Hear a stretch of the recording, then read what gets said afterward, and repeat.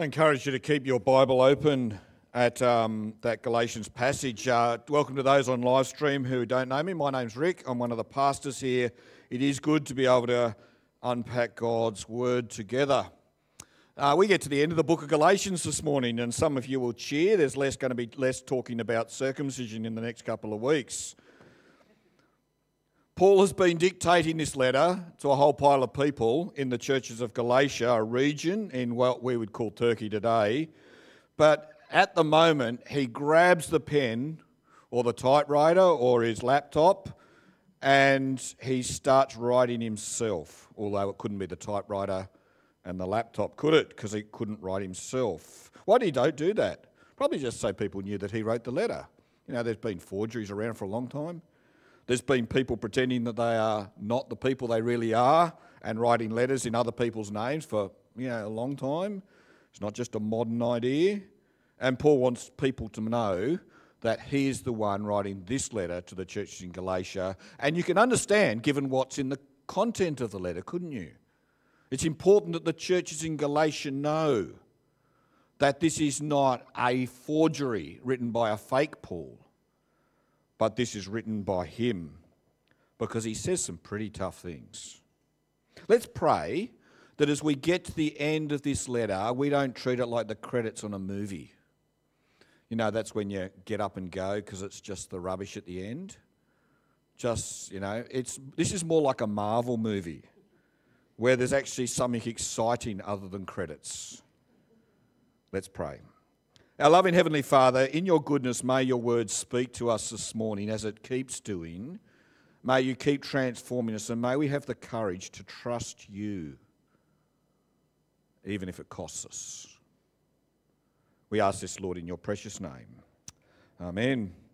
Well, you need to turn your Bibles open, so I'm going to open up mine. So it's Galatians chapter 6, verse 11. That's page 1700 and 74. We've been in Galatians such a long time now 12 weeks that it almost opens automatically, doesn't it? It's great. When it comes to the God stuff in your life, what's really important? What is it that's going to capture your attention? Or maybe I could put it this way Imagine you're going to get home this afternoon, not because I've preached for so long, but because you got home and after church you hung around and did stuff and yarned to people, but it's this afternoon when you got home, and someone who you're desperate to know Jesus, someone in your life that you are desperate to, for them to know Jesus, says, I want to find out about this Christianity stuff, what is it that you'd share with them? One thing, just one thing, you're only allowed one thing. What is it that you'd share with them? For those who opposed Paul in the churches of Galatia, what seemed to matter to them is whether or not their external appearances had been adjusted. They had adjusted their external appearances, we read in this passage, just so they could reduce the opposition that they faced. And we'll find out more about that because we read Acts 14, didn't we? And the opposition was real. Remember that Acts 14 passage. Paul is speaking the gospel. Some Jews get converted, some Jews get really cranky, and they are not happy at all. Gentiles are converted, and Gentiles are not happy at all. And in, as a result, there's riots, murder plots, beatings, stonings. And uh, as Paul goes down to Lystra, they chase him down to Lystra. Um, they rev up the crowd. Paul is stoned, and I don't mean he smoked something he shouldn't have done. He got rocks that thrown at him, and he was dragged out the, outside the city of Lystra and led, left for dead. You see, the opposition to the gospel is real, always has been. And it seems like uh, the false teachers, as part of their motivation to change the gospel, is to, cha- is to reduce the persecution that they face. And so they changed the gospel and then they compelled people to get circumcised because, well, if you got circumcised, it would reduce a significant amount of hostility. I guess they hoped that this gospel that said you're saved by faith in Jesus only, plus you need to get circumcised, they would have hoped that that would have meant that a whole pile of people were no longer upset with what they said. And as we read from Acts 14, there were a lot of people upset with the gospel, weren't there? Now, Paul makes it very clear in this gospel, in, the, in this letter to the Galatian churches, that anything you do to change the gospel means that you don't have a gospel. You've got no gospel at all, he says in chapter 1. He's made it very clear all the way through, and there's big implications of having no gospel at all. You don't have Jesus plus baptism and end up with just a better person. You have no salvation when you have Jesus plus anything. Paul is concerned about their this false gospel because he's concerned about the people. He's personally connected with them. He's concerned about their eternity. And because he's concerned about their eternity, he's not trying just to please them and win a fan club. He doesn't want to tell them what their itching ears want to hear. He wants them to know the truth. And we read back in chapter 4, verse 16, that Paul wishes that he could have been there. Verse, chapter 4, verse 16. Uh, oh, I've told you the truth. And then, then, then he says, actually, uh, verse 20, I wish I could be with you now. I wish I could change my tone. I'm perplexed about you lot. He wishes that he could be there because he cares for them. And letters never seem to be as good as a person there, do they sometimes? Well, that's what we feel. But Paul can't just hop on a flight, he can't Zoom call them. He's written them a letter. This is so important that, that it can't wait. People's eternity is on the line. He's concerned about the truth. He's not concerned what they think of him. And as Paul concludes this letter, he reminds the churches in Galatia that his concern for them is the exact opposite of the false teachers. They just want to be keeping up the right appearances reduce the opposition. They don't seem concerned about the churches that are going to follow this false gospel. They're concerned about themselves. Uh, in our own diocese, when we have a false teacher in a congregation, the congregation is infected like a whole dough is infected by yeast, uh, infected with the false teaching of a false leader. What do you think that does to the people's eternity?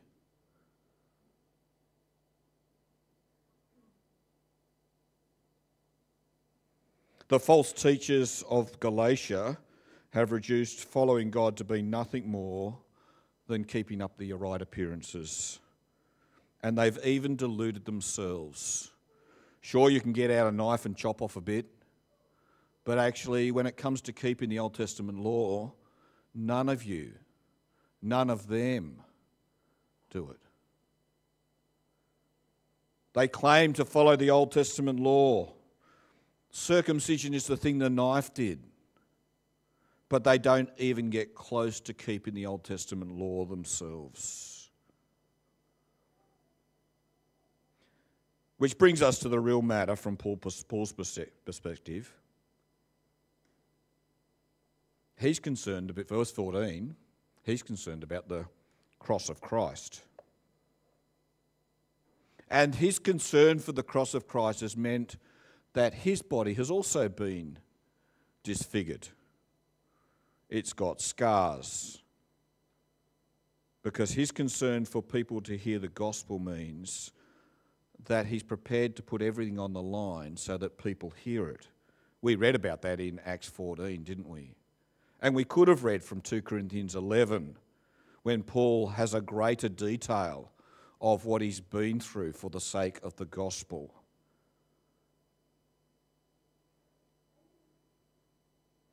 So, what does Paul mean when he says that he's concerned only for the cross of Christ? so far in the book of Galatians, he's talked about that the gospel, eh, uh, the, the thing we receive from God, is that we have been made just as if we'd never sinned, that is, justified, through faith in Jesus. And here he talks about being concerned for the cross of Christ, it's just really two ways of talking about the same thing. Let me show you how it's all connected. Jesus' death on the cross paid for the debt of sin and wiped away the guilt of our sin, turning aside the Father's wrath so that you and I can stand before the throne of grace with confidence. The language that Galatians uses is that it freed, from the, freed us from the curse of sin that is revealed in us by the law, the Old Testament law. And the work of Jesus on the cross has fulfilled the promises of God and won for us the inheritance of eternal life. If you put your faith in Jesus to justify you, make you just as if you'd never sinned, you are given a free gift, an undeserved gift, the gift of eternal life. And letting people know of this good news what God has won for us through the work of Jesus on the cross is Paul's absolute focus. If he was to get home this afternoon and the person that he cared for most asked him, What is this Christianity rubbish all about? he would be concerned for the cross of Christ. That's what drives him. That is what he boasts about. It is what he focuses time on. It's what consumes his effort, and it's what's given him scars. In verse 14, Paul goes on to tell us that it's through the cross of Christ that the world has been crucified to me and I to the world. And it's worthwhile reflecting on what he means by there. He's not gone and become a hermit in a hermit kingdom in verse in, in chapter 6 verse 7 paul says you reap what you sow. We looked at that last week didn't we? And you'll never you'll never have success in putting to death sin in your life when you make no effort to crucify it. When the thing that's causing you to sin you keep by your side so you can reference it and indulge it when you feel like. Crucifying something is extreme isn't it? It's killing it putting it to death not sidelining it Paul wants them to get rid of sin completely, crucify them. What is it you're struggling with? Have you, have you thought about crucifying the thing you're struggling with in this last week? And Paul's focus on the cross of Christ means that he is no longer looking to the world for his fulfillment, no longer looking to the world for his purposes. Sure, He lives in the world, he's not become a hermit, as I said, but that's not what drives me. That's not what I live for. I have side, I'm not, I haven't just put things on the side, the things of the world on the side. I've crucified them. He lives for a higher purpose. Whereas the false teachers, what are they doing? They're keeping all their options open to avoid any persecution. They like the comfortable life and they're prepared to negotiate the gospel to keep the comfortable life. And when they negotiate the gospel to keep the comfortable life, they lose their eternity. They're prepared to gamble that. Paul makes it very clear that to grasp hold of or to be concerned by the cross of Christ is not going to mean that life is a walk in the park. It's not about being relaxed and trouble free. Trouble awaits those who follow Jesus. I wonder whether you realise that. Paul himself bears the scars because he follows Jesus. It's not just a slight turmoil and a couple of people who shame you or cancel you. The churches in Galatia need to make a decision. Who will they follow? What gospel will they grasp hold of? The people in Galatia have reached a fork in the road where, where it's not just two roads that lead to Rome, if I could use that expression, but two roads that lead in completely different directions. And one fork with the false teachers, with the desire to impress, with the desire to keep people on your side, will mean that you lose your eternity. You'll put aside You'll put aside the things that Jesus has done and add to it the things that you've got to do to keep people happy. You'll reduce your persecution. You'll avoid the conflict that will come if you hold to the truth, but you'll lose your eternity. And on the other fork, that this is the gospel that Paul first handed down, the gospel that was first preached, about faith in Jesus Christ alone faith in Jesus alone to deal with the curse of sin, to wipe away your guilt, to pay your debt, to restore your relationship with God. That's the real gospel. That will result in conflict and persecution because people will not like it. There you go. There's the choice, Galatia. There you go. There's the choice, people at Tea Tree Gully Anglican at the 10 o'clock service.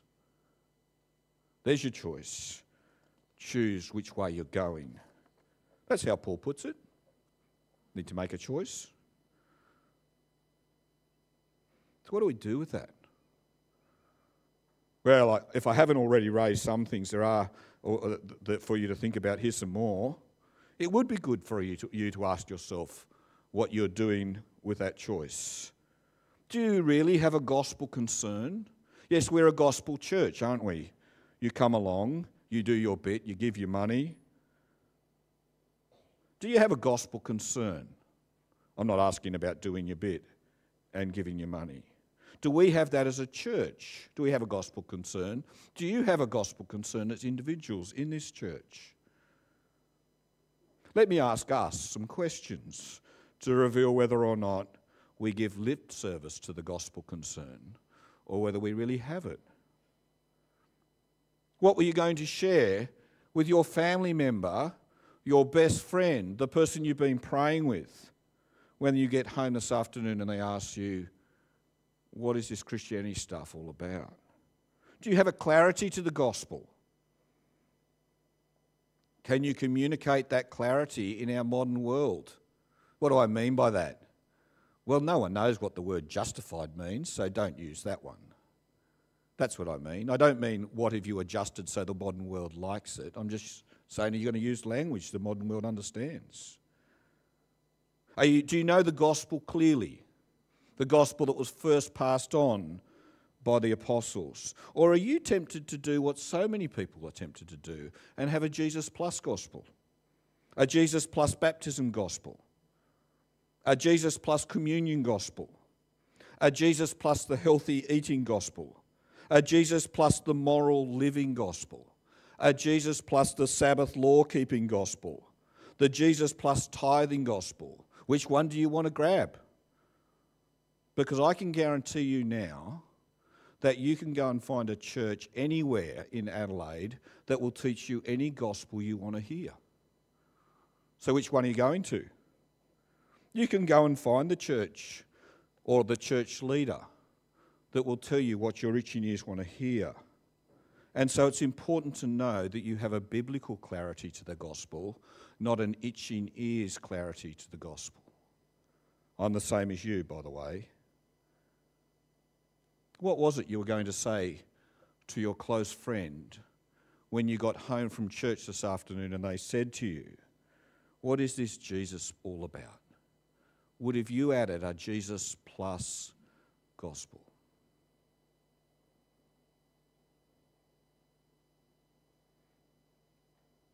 When it comes to the gospel, here's another question for us to think about. Do we have such a gospel concern in our lives that it means that we sow actions in our lives to please the Spirit? Using the language of last week's passage. Are you sowing to please your, the Spirit? Or are you just making those superficial changes, the external stuff that is just there so you avoid any opposition? Are you keeping your options open in case you wanted to indulge yourself again at a later date? Uh, it's not a, new, not a new problem that we all face, not just you. Uh, in Isaiah chapter 29, verse 13, the Lord says, The people come near to me with their mouth and honour me with their lips, but their hearts are far from me. Their worship of me is based on merely human rules that they've been taught.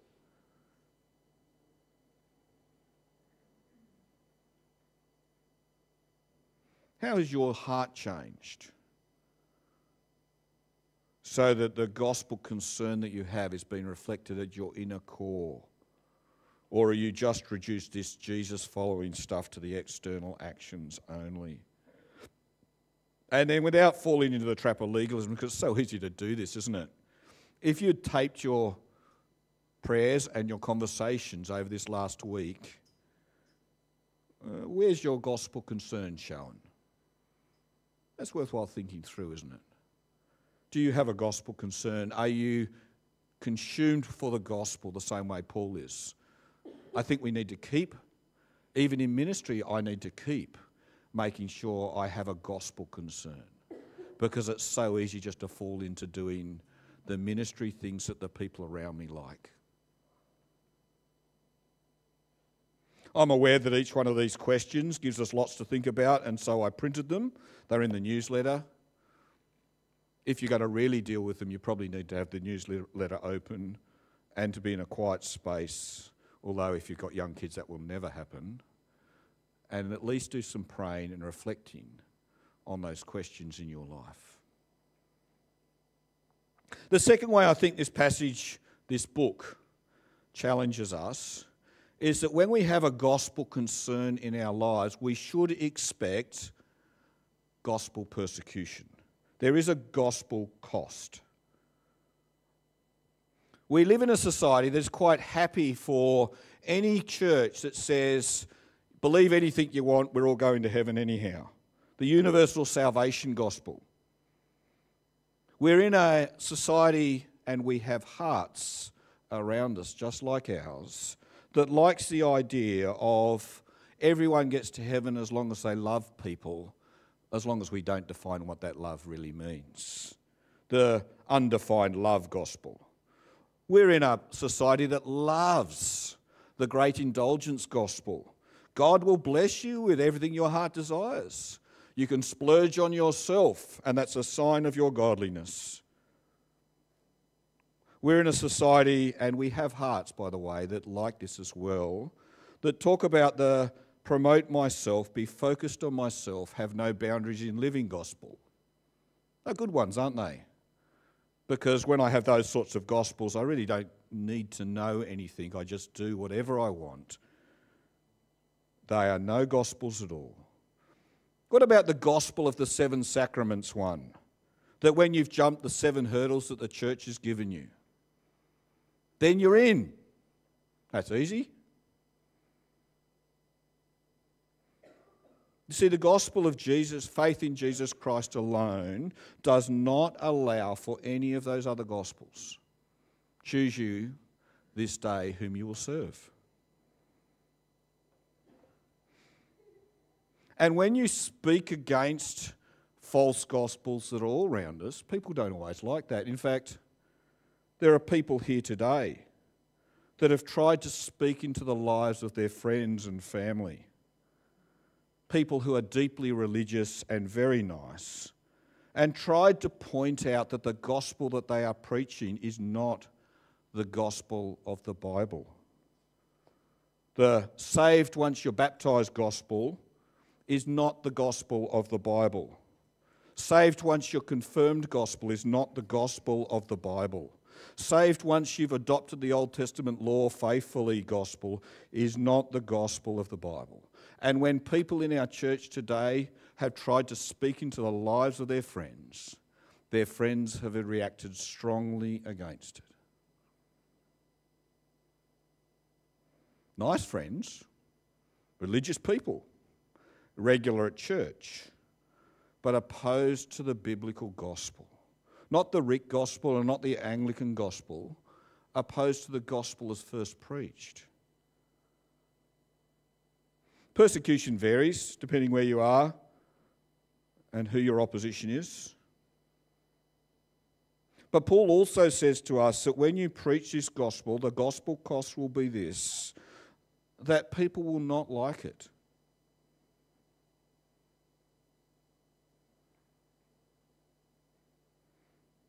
We like a culture that likes us. But I think if you're going to hold on to the biblical gospel, you should not expect society to allow you to pursue any career you want. You will get cancelled. But don't get cancelled because you're a jerk. Don't get ta- cancelled because you rammed, rammed morality up people's noses when they didn't want it. Get cancelled because you shared the good news of Jesus in a way that people can hear and understand. Get cancelled because you've lived out the gospel in your life, not expected non Christians to live it, but lived out the gospel in your life as you put to death your own desires of the flesh, your own desires of the flesh. Persecution will come as you speak the gospel in a loving way. Persecution will come as you keep in step with the Spirit in the way that you live. Expect it. But it's only been light so far, hasn't it?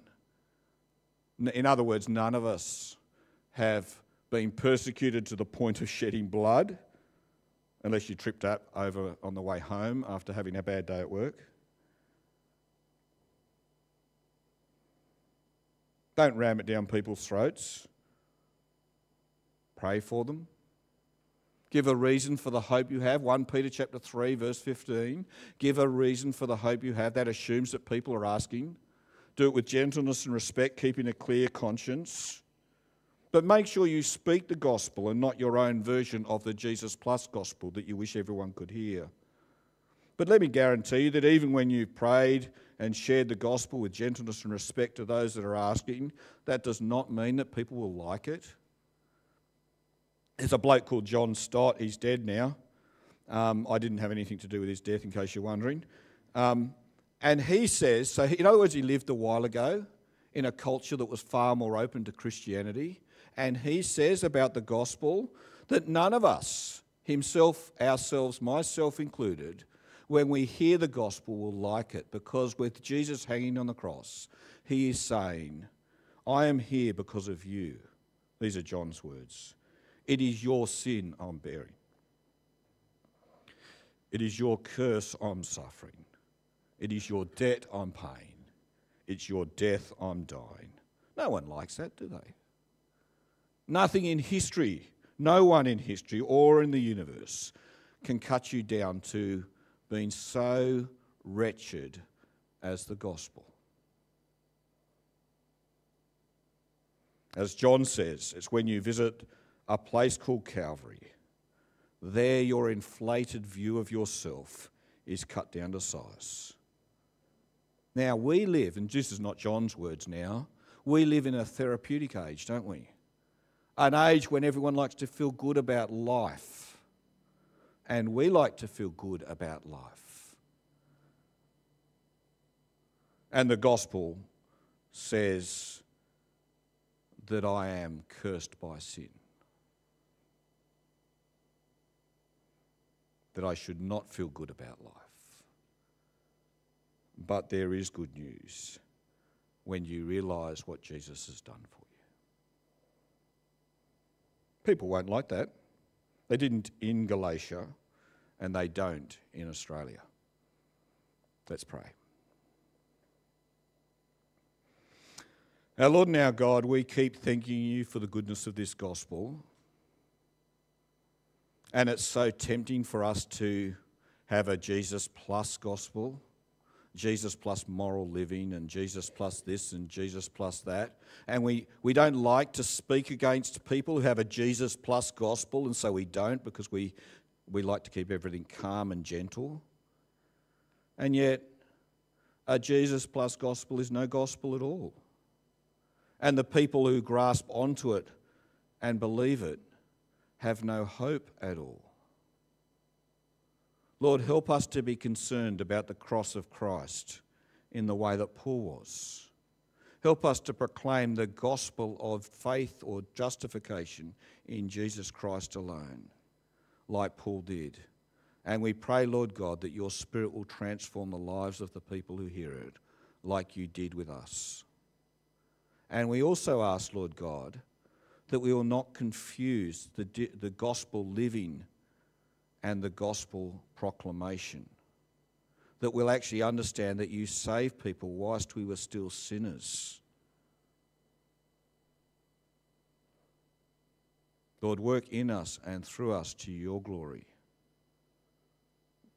Enable us to grasp hold of this good gospel, even if it means that life goes pear shaped and gets hard. We ask this, Lord, in your precious name. Amen.